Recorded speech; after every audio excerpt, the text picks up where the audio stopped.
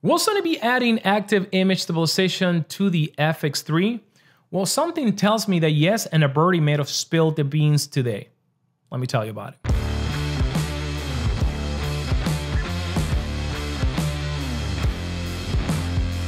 So welcome back to the channel guys, Gaston here. So today I was actually with Sony customer service trying to update from firmware 1 to firmware version 3. Now, before firmware 3, there was firmware version 2. The reason why I never updated to version 2 is because when this camera was released before the Sony FX3, I was using this camera all day long all day long for everything. So my workflow consisted on filming as much as I could, as stable as I could. I don't use gimbals, and then stabilizing my footage in post. And that sometimes will take me a full day just to stabilize footage when I have, you know, 300 something clips. Yeah, pretty tedious. So when the Sony FX3 came out, I bought the camera and when I realized that the beautiful image stabilization that this camera has for handheld shooting, that was exactly what I was looking for. And I put this camera to rest for you know most uh, running and gunning situations. But for running and gunning, you know, lighter setup and cameras that can do the stabilization for me was a huge time saving. So today I was on the phone with Sony customer service because I wanted an update and I had an issue with this update. And by the way, I tell you what happened in case it happens to you. So a couple of weeks ago or a month ago, I updated my Sony FX3 and I downloaded the firmware and now you can update via SD card. Now the name of the file for the FX3 is bodydata.dat, which is the same name as the firmware of the Sony FX6. So what happened is last night at 1.30 at night, I'm trying to download the firmware, you know, I'm trying to get all excited about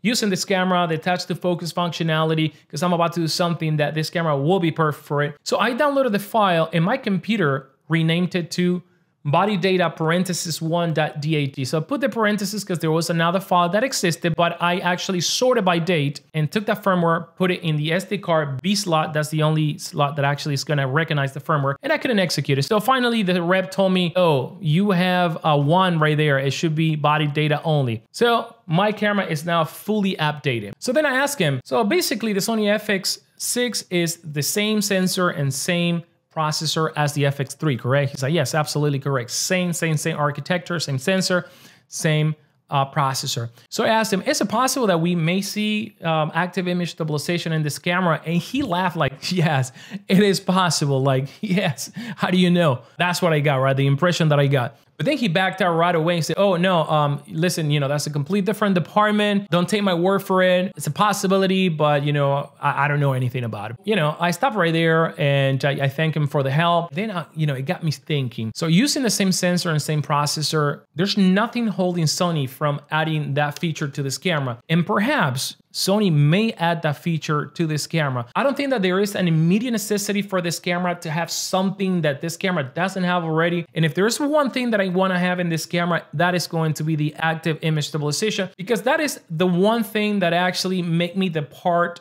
for a lot of the situations, you know, from this camera to go shoot with a Sony FX3. The active image stabilization, huge time saver for me. So having that feature here, this will make this camera a complete different beast for me altogether. Being able to use the electronic built-in ND filter with the auto function has actually been game changer for me because with the FX3, for example, you know, I have to change lenses and then I have to change ND filters unless I want to bring a matte box and make the setup, you know, a lot bigger. So with this camera, it's just a breeze. Remove a lens, put another lens, and let the ND filter take care of the situation by itself. So that is awesome. Also, you know, we have a bunch of buttons in here. And, uh, you know, you guys know this camera is really, really versatile. So another thing that I wanted to mention in case that you know, because I was actually looking for a solution that would allow me to remove the uh, top handle. And there's a connector under the top handle. And I think that the only thing that we need is someone to make a bracket with a connector to bypass a whole handle system. And then we can attach the uh, monitor here, or you can use your external monitor. But anyways, guys, you know, we may see potentially this year, who knows, active image stabilization coming to the Sony FX6. That is going to be a huge deal for us that own the camera already. It will make this camera, in my opinion, like a brand new camera, at least to myself, because it opens a huge horizon of possibilities for me, especially for those that are running and gunning with a quick turnaround. So let me know what you think in the comments down below. You want active image stabilization in this camera? Until then, guys, I will see you in the next video.